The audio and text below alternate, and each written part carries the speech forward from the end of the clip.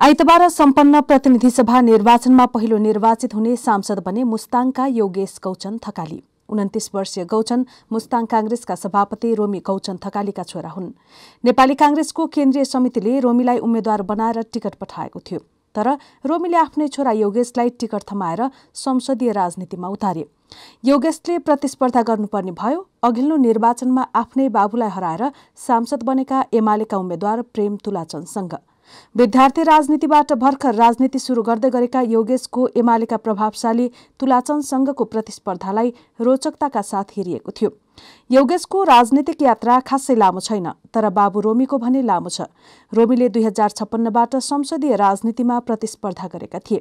त्यस यताको चार निर्वाचन मध्ये सरोवर जित हार निकालेका रोमीले दुई हजार छप्पन्न र दुई हजार सत्तरीको निर्वाचनमा जित हात पारेका थिए।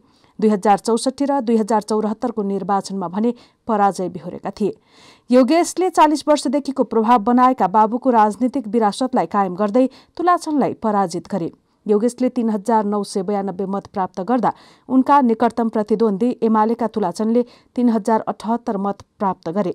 यो विजयको निर्वाचन आयोगबाट अन्तिम घोषणा हुन भने बाँकी छ। युवा पुस्ताका योगेशले बाबुको नाममा आएको टिकट लिएर बाबुलाई पराजित गर्ने तुलाचनलाई पराजित गरे। आइतबार सम्पन्न निर्वाचनमा युवा र नयाँ पुस्तातिर रुझान देखिएको थियो।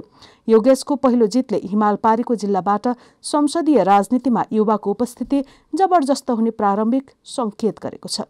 प्रस्तुत सामग्री नेपाल लाइभ कर्मी ईश्वर बरालले तयार पारेका हुन्। थप अपडेटका लागि election dot Nepal live dot कममा क्लिक गर्न सक्नुहुनेछ। सामान राम्रो छ ढुक्क हुनुहोस्। थाहा छ थाहा छ त्यसैले त यही लिन आएको। गुणस्तरीय प्लम्बिङको भरपर्दो नाम मार्बल